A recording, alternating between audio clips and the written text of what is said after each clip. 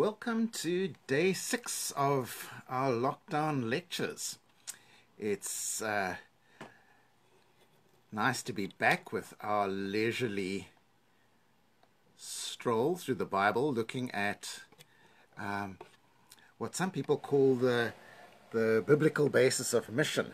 Chris Wright, of course, said there's so much about God's mission in the Bible that we should rather talk about the the missional basis of the uh, the of uh, of the Bible.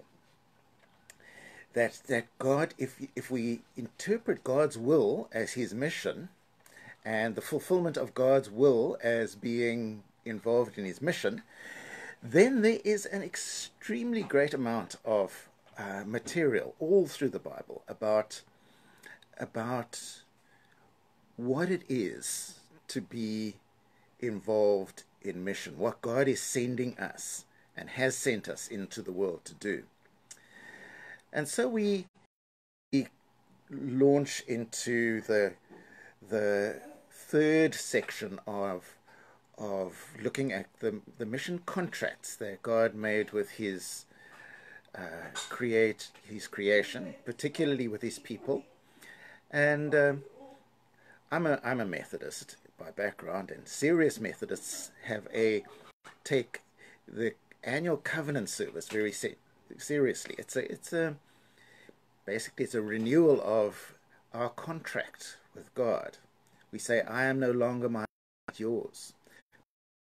Rank me with whom you will, put me to doing, put me to suffering, let me be employed for you or laid aside for you um, exalted for you or brought low for you. Let me be full, let me be empty, let me have all things, let me have nothing. I freely and wholeheartedly yield all things to your pleasure and disposal. It's like really serious uh, contract. And now, glorious and blessed God, Father, Son, and Holy Spirit, you are mine, I am yours, and the covenant contract now made on earth, let it be ratified in heaven. Amen. It's really big deal Methodists.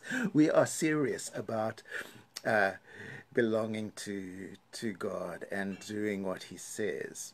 Now this this emerges from this whole uh, where this first emerges is in Genesis itself with these contracts, and we've looked.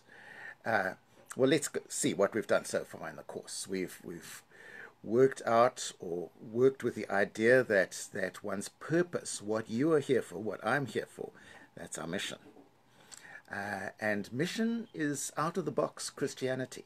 And the definition I'm working with is is God sending his people through his people to cross barriers between people to bring about his purposes in the world. And uh, that's what emerges in these all those early cre- uh, creation stories, uh, and who God is, who we are, our character, God's character. And now we're looking at this this strand of Genesis that involves the contracts, the the covenants, the the settled agreements that God enters into with various parties. Noah. Did you make the coffee and tea? Uh, Thanks, Mum. Have you brought, have you brought it? Eh? Yes. Oh. Is that for tea, Leslie tea? Um, no, that's Leslie's coffee. Pardon? That's Leslie's coffee. And it, it and the small cup? No, that's your tea. Oh, it's a little confusing. Sorry, I forgot to bring it through. if you could bring me my coffee, I would be grateful. There's only one coffee. Yes, one, that's oh, for me. Oh, okay. Thank you.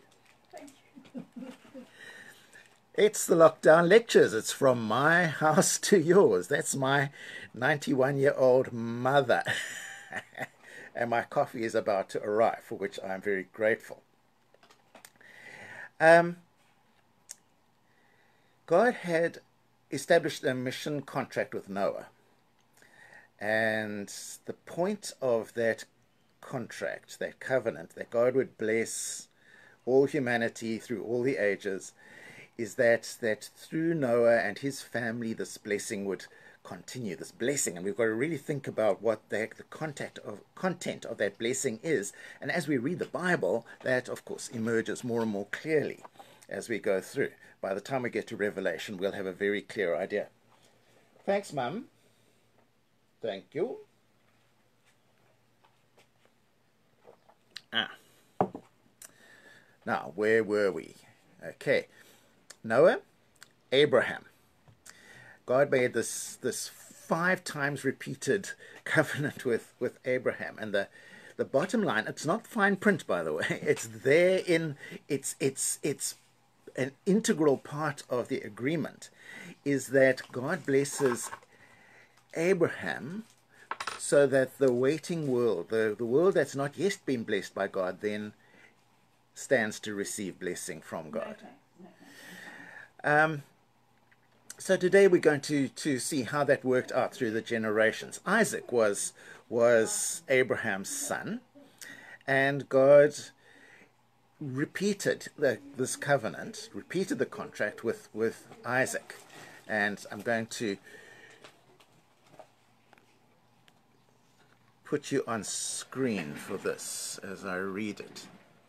Um, the Lord appeared to Isaac and said, Do not go down to Egypt. Stay in the land where I tell you to live. Stay in this land for a while, and I will be with you and bless you.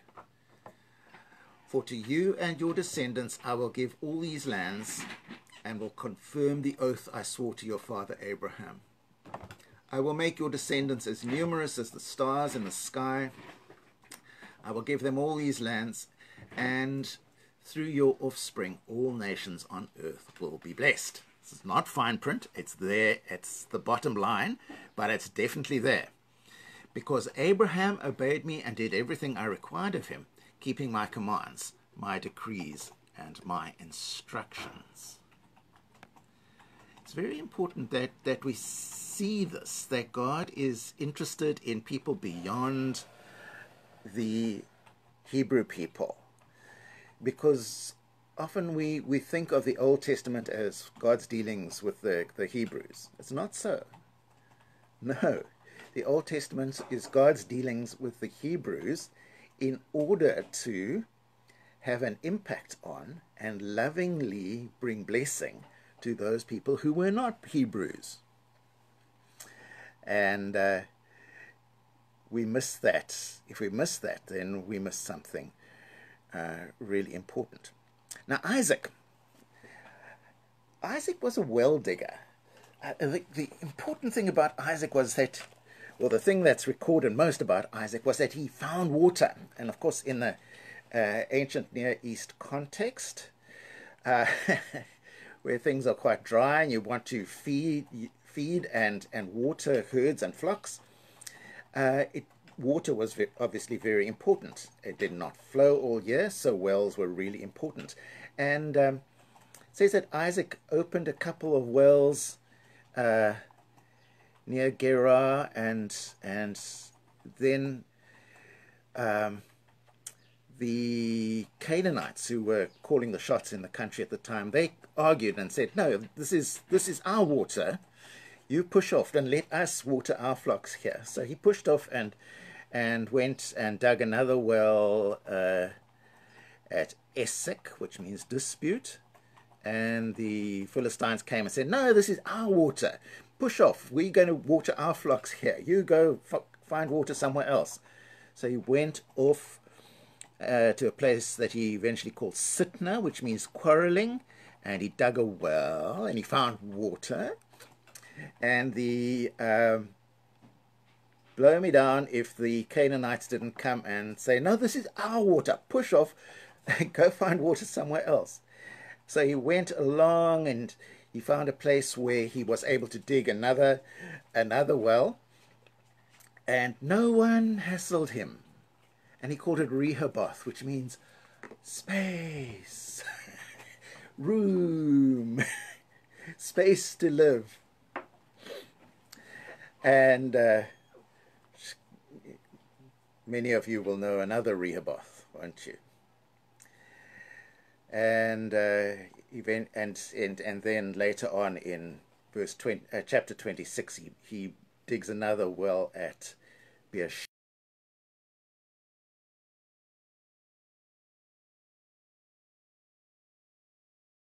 There, am I back again? There I am. He leaves behind a, a string of wells, sources of water. And it's interesting if God, God, but it's as though through Isaac the blessing of, of discovered water has flowed. And it's not flowed only for Isaac, it's flowed for all those sheep and cattle and donkeys and camels and the herdsmen of the Philistines as well. Blessing flows, as it's meant to do, through God's people across barriers to the world that God loves. Right, that's the contract. And the basic bottom line again is that God's um, wanting to bless all the nations. It's right there in the book of Genesis.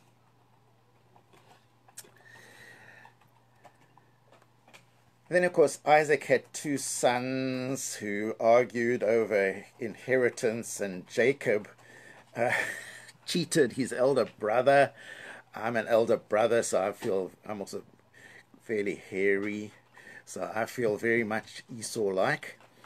Uh, but Jacob Peace to Gerard, my younger brother, um, who is not a hairy man, so there, there are, and is much bigger than me, so I want peace with him.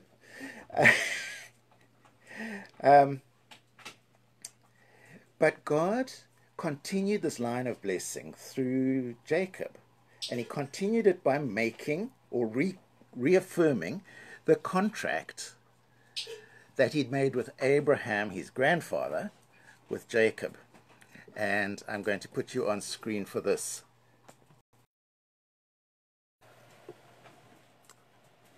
Uh, Jacob's resting his head on a stone, and he has this crazy dream of a ladder between earth and heaven, and angels going up and down.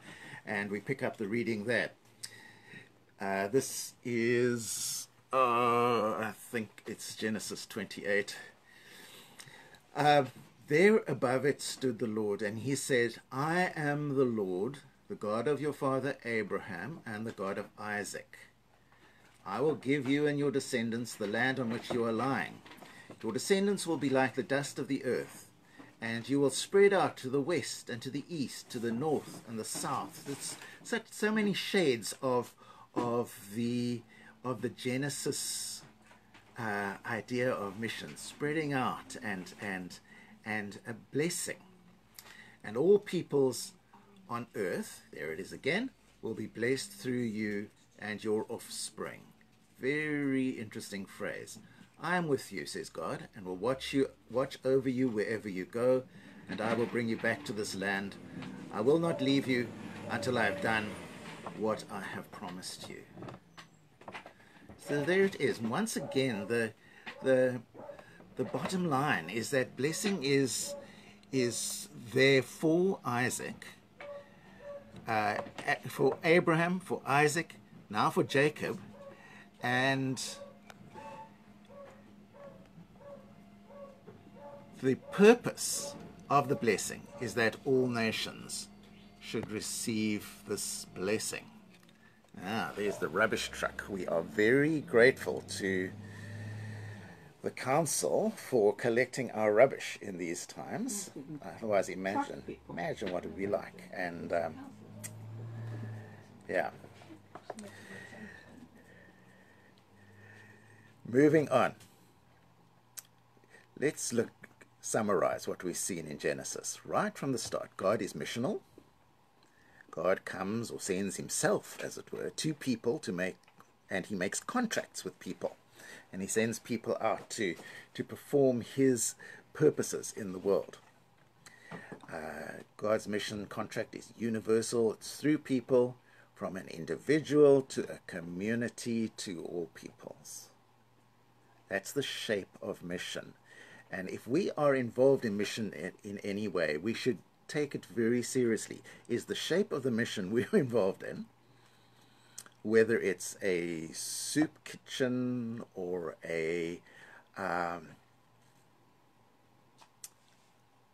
visiting in prison, whether it's living in a, a, culture not our own and learning to speak and minister in a language not our own, is it shaped like this? Is it moving from God to an individual, to a community, and then out into the rest of the world that God loves? Because the bottom line is God's mission involves blessing for all people. That's why he's so serious about the contract. So, I'm going to put you back on screen for a summary of all this that I hope you'll find helpful.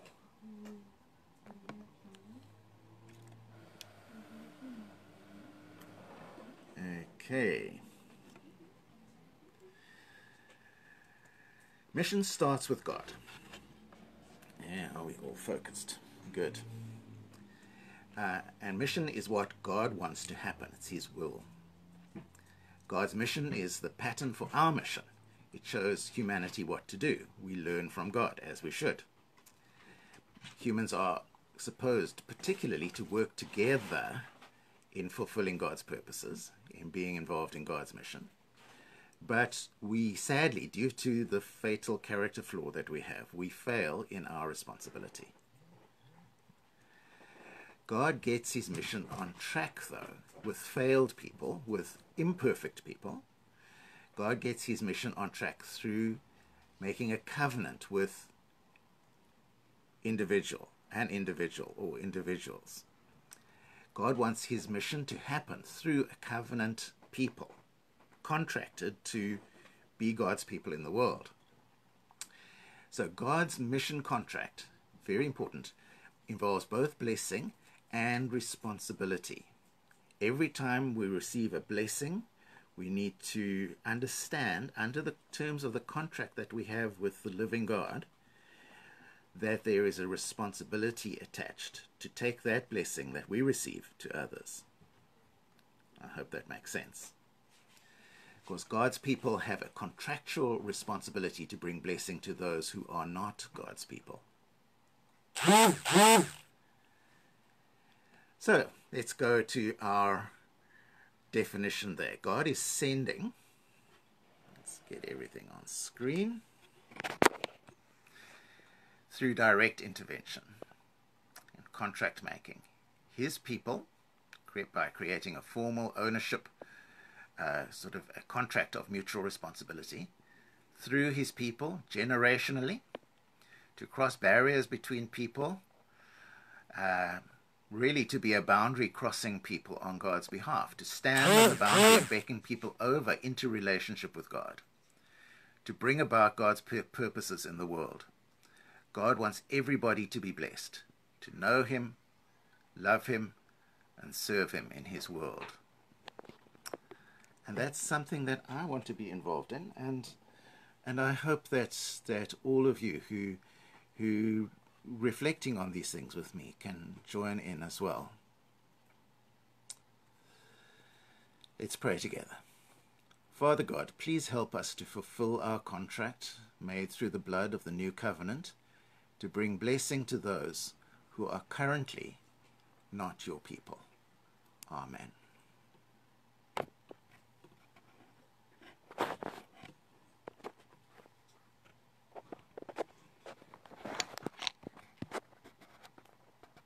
Ah!